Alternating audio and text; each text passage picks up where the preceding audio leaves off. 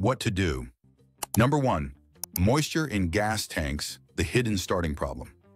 Gas tanks collect condensation, especially in cold or humid climates.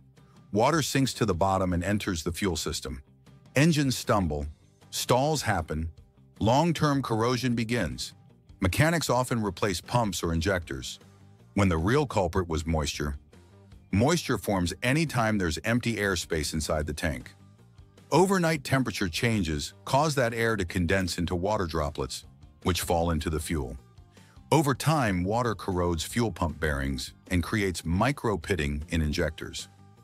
AIA studies show that water contamination is one of the top hidden causes of hard starting, especially in winter. A $3 bottle of isopropyl-based dryer eliminates the problem before it destroys expensive components. Keep tank above half in winter. Add HEET or ISO-HEET every 6 to 8 weeks. Prevents water buildup and corrosion